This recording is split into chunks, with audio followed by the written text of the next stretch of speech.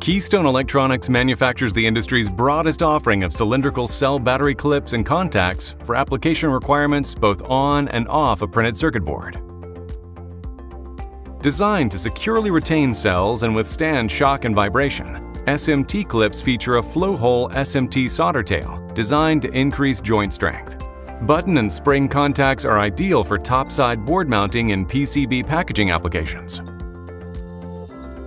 Designed to securely retain cells and withstand shock and vibration, THM clips are ideal for topside board mounting. Facilitating a direct PCB to battery connection, the contacts feature steel, nickel, or tin nickel-plated frames and contacts, which are available in button, leaf, or coil spring types.